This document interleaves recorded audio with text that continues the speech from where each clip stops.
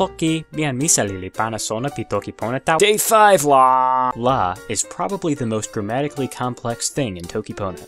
I mean, it's not that complex, but when compared to everything else in this minimalist language, it gets that title by default. There's not an easy one-to-one English equivalent, so let's jump right into Tokipona rule number 5. A la B means B happens when A happens. La is used for a few things. Mainly, it's used to indicate time, to make conditional statements, or for adverbs. Let's go over these uses one at a time. Vocab first though. Ken means ability or possible. Lape means sleep or rest. Tomo means structure. Sona means knowledge, wisdom, skill, or science. Kala means fish or any other aquatic animal.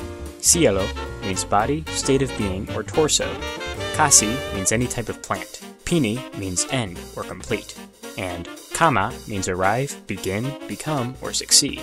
Adverbs first. So, usually adverbs work the same way as adjectives, you know, they go after verbs. However, sometimes you want to put an adverb at the beginning of a sentence. In this case, you put the word you want to use as an adverb first, then the word la, then the rest of your sentence.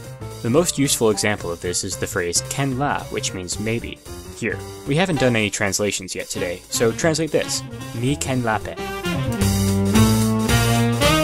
This means I can sleep. Now try ken la mi lape. Ken la means maybe, so ken la mi lape means maybe I'm sleeping. Last one before on, maybe I can sleep. Yep, it's ken la mi ken lape. Do note that ken la always goes at the beginning of the sentence. Next, let's do conditional statements. A la B can mean if A, then B. That's pretty much it. How might you say, if you slept, then you would have knowledge? It's sina lapela sina jo esona. What about yani limoku la sijelo ona lipona? This one means something like, if that person eats, their body will be good. The last use of la we'll go over is for time. Basically, use the word tenpo, an adjective describing the time, la, and then the rest of the sentence.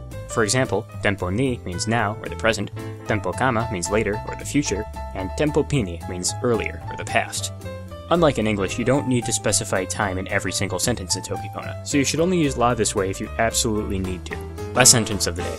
Tenpo ni la mi ken toki e Tokipona lili. This means now I can speak a little Tokipona. Do the vocab, Mitawa. Yep.